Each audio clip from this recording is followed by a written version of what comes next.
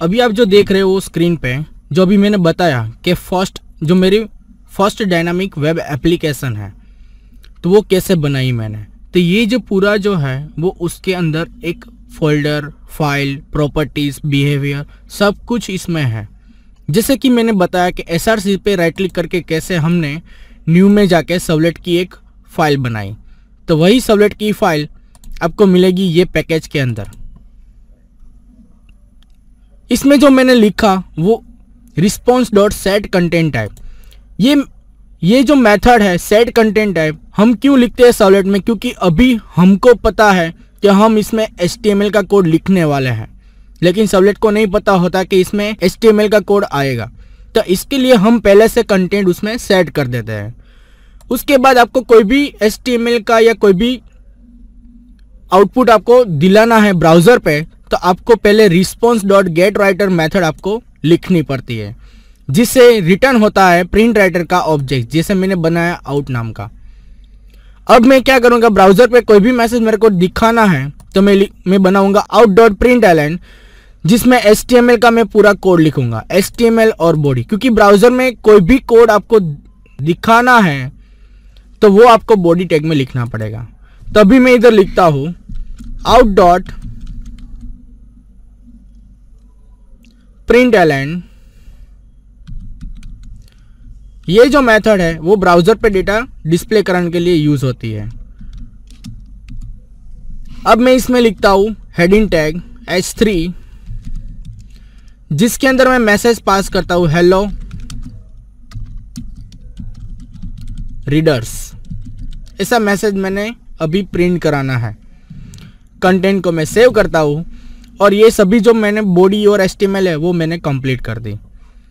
Clear तो ये जो मैंने बनाया, वो सिंपल एक फ़र्स्ट एप्लीकेशन है, जिससे मेरे को सिर्फ़ डेटा डिस्प्ले कराना है, कहाँ पे? ब्राउज़र पे। और यूजिंग मेरा एप्लीकेशन सर्वर जिसको बोलते हैं टॉमकेट सर्वर आपको दिख रहा है वेब कंटेंट का फोल्डर वेब कंटेंट के फोल्डर के अंदर आपको जाना है वेब डेस आई नाम का फोल्डर में, क्योंकि उसमें हमारे पास लीफ फोल्डर और वेब डॉट एक्सएमएल फ़ाइल है, जिससे वेब डॉट एक्सएमएल फ़ाइल से हमेरा पूरा डिप्लॉयमेंट डिस्क्रिप्टर हैंडल होता है। क्योंकि इस कोड से, इसमें जो हमने कोड लिखा है, उस कोड के अंदर पूरा का पूरा आपका सवलेट कॉल होता है।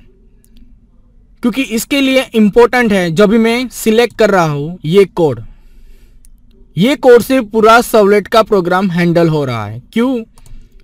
क्योंकि ये जो आप नाम लिख रहे हो, वो नाम आपके सवलेट के टैग के अंदर और ये सवलेट के मैपिंग के अंदर सेम होना चाहिए। किसके सवलेट का नाम?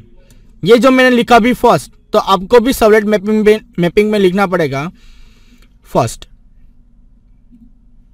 ओके उसके बाद आपको क्या करना है कि आपके पास कौन से नाम की जावा फ़ाइल है? मेरे पास कौन से नाम की है कि ये माई सवलेट डॉट जावा तो माई सवलेट की जो जावा फ़ाइल है उस पैकेज के लेके अपने क्लास तक का पूरा नाम आपको सवलेट क्लास में लिखना है।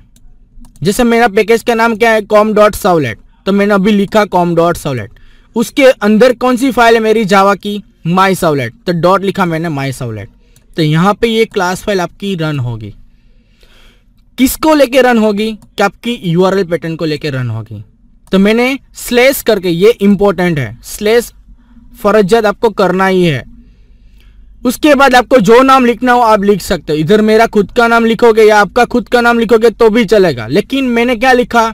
जो मेरे क्लास का नाम है, वही मैंने लिखा इधर। क्योंकि दूसरी बार मेरे को ये प्रोग्राम कॉल करना हो तो मैं क्या करूँगा? मेरी क्लास के हिसाब से मुझे याद रहेगा कि मेरे पास कौन से नाम की यूआरएल पैटर्न है। तो ये यूआरएल पैटर्न आपको एंटर करनी पड़ेगी आपकी यूआरएल में। और कब एंटर होगा वो अभी मैं बाद में दिखाता हूँ। तो ये जो पूरी फ़ाइल है, उसके अंदर आपकी वेब डॉट एक्सएमएल अभी ये फ़ाइल आप डिलीट कर देते हो तो ये प्रोग्राम कभी भी रन नहीं हो सकता। अब हम रन करते हैं। आपको रन कैसे करना है? सबसे पहले आपकी जो एप्लीकेशन है, उसको सिलेक्ट करना है, उसके बाद उस पर राइट क्लिक करना है। जैसे भी राइट क्लिक करोगे तो आपको दिखेगा रन एज रन एज और आपको दिखेगा इधर रन ऑन सर्वर तो जैसे भी आप इस पर क्लिक करते हो तो आपको दिखेगा ये सर्वर जिसमें ये मैन्युअली भी कर सकते हो, या फिर एग्जिस्टिंग सर्वर है, उसमें भी रन कर सकते हो। तो मैं एग्जिस्टिंग सर्वर पे आपका प्रोग्राम रन करता हूँ। उसके बाद आपको नेक्स्ट बटन पे क्लिक करना है, फिर ये अपना जो प्रोग्राम है, वो कन्फिग्रेशन में आ जाएगा। ये जो मेरा लिस्ट जैसा बॉक्स है, उसके अंदर मेरा प्रोग्राम आ जाएगा। उसके बाद फिनिश करते हो तो ये सर्वर स्टार्ट होता है और मेरा प्रोग्राम अभी रन होता है। लेकिन जब भी ये रन हुआ तो पहले दिखेगा आपको इस टाइप का क्योंकि इसके रिगार्डिंग आपका प्रोग्राम अभी रन नहीं हुआ है। रन करने के लिए मैंने बताया था आपको वेब डॉट एक्सएमएल में जो यू आर पैटर्न आपने लिखा है, वही नाम आपको इधर टाइप करना है।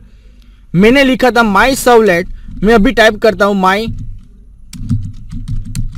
सवलेट जैसे भी एंटर दूँगा तो ये प्रोग्राम आपका रन हो गया। तो इसको बोलते हैं सवलेट सवलेट के जो ये मेकेनिज्म है, थोड़े डिफ़िकल्ट है। इसके अंदर क्या होता है कि आपको पहले प्रोग्राम बनाना पड़ता है, फिर उसको कॉन्फ़िगर करना पड़ता है, फिर उसके बाद आपको रन करना पड़ेगा, फिर आपको ये क्या करना पड़ेगा यूआरएल पैटर्न लिखना पड़ेगा।